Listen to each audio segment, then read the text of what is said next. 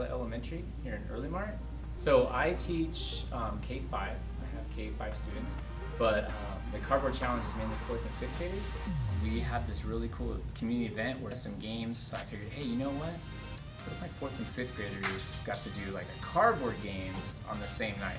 One of the parameters was I need to make sure there's like a time limit because I didn't want to drag this out all year.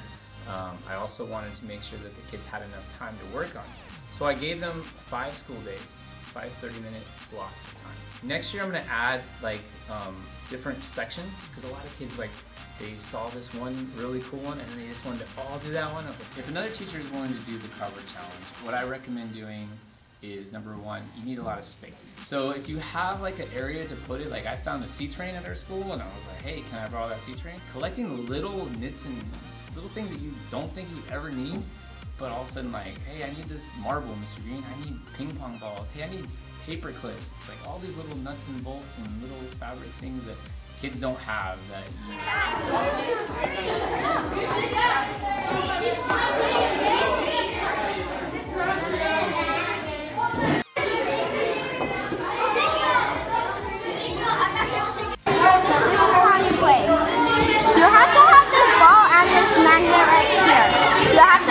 around all the toys and make it in the goal. The game is the fortune teller.